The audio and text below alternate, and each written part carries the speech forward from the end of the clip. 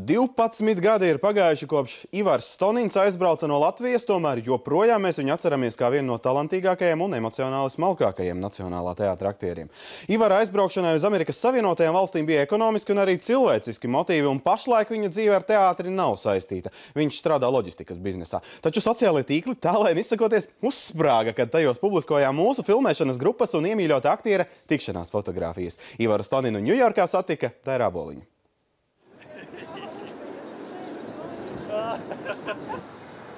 Es strādāju Latvijas kompānijā. Un, un, un, un darbs ir no 8.30 līdz 5. Bet, protams, ar virsstundām, jo, jo tu nekad nevari paspēt visu izdarīt. Un, tā kā es nezinu, ir vienkārši. Es domāju, ka es vienkārši māku, uh, es māku izdzīvot. Ar Ivaru Stoninu es satiekos Ņujorkas centrālajā parkā ļoti vējainā un nepavasarīgā dienā. Ivars Stonins pārtrauca savu karjeru Latvijā 31 gadu vecumā, mirklī, kad viņa aktieru talants bija zenītā. Smeldze un liktenīgums Ēžana Finka tēlā, Hamlets ar savu būt vai nebūt un pravietiskās Indriķa kronikas. Tās ir tikai dažas no Ivara aktieriskajām izpausmēm viņa Latvijas dzīvē. Varbūt kādreiz, varbūt Es nedzīvoju ne, ar, ar, ar kaut kādām tur ekstra kaut kādiem ekstra tēriņiem, ar kaut kādām unikālām ambīcijām. Man nav nekāda ambīcija. Tā ir tā viena lieta, ko es te, ko es te laikam pilnībā esmu atmetis. Es negribu nekādas ambīcijas. Man laikam man neprasās. Man aizvien ir tas pagarinātais atvaļinājums no teātra. Kaut kas ir, jā, kaut kas ir uh, daudz dedzis pa to laiku.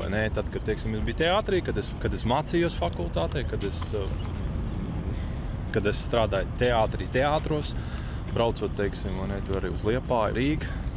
Nu, nu, nu.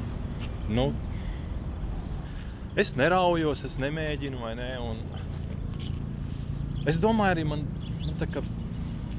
Tu vari būt pišķi žēl, vai ne? Jo gribās, jo, jo tik, tik līdz tu vai neskaties labi izrādi, tad tu jau viņā, tā kā esi iekšā, tu gribi viņā piedalīties, tu gribās tā. Bet uh, Tev droši vien ir profesionāls kretīnisms, un man viņš neiet no kauliem laukā. Par latviešu emigrāciju pēc pašu gribas jau šajā gadsimtā mēs runājam daudz diskrētāk. Tas ir grūts valstī un līdz cilvēkiem nevienmēr glaimojoši. Ivaram piemīt ne tikai spilgts aktierisks talants, izteiksmīga plastika un emocionalitāte, bet Latvijā dzīvodams Ivars Stonins dziedāja arī seno mūziku. Nu jau kāds, kāds trīs gadus pēc kārtas man uh, aicina Ņujorkas latviešu koncertu kurs. Uh, Andrēs Jansons, diriģents. Viņi cenšas ļoti. Viņi dzied un mācās, un, un, un mocās un, un strīdās. Viņ, viņš aicina, laužos, tad samācos un tad es dziedu. Nu, viņam vajag nu, tā. Bet man patīk, ja dziedāt, tiksim, ko te pilnu laiku, nebūtu nekāda vaina.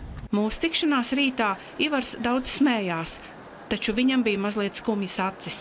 Daira Aboliņa Zigurds Eicēns no Ņujorkas.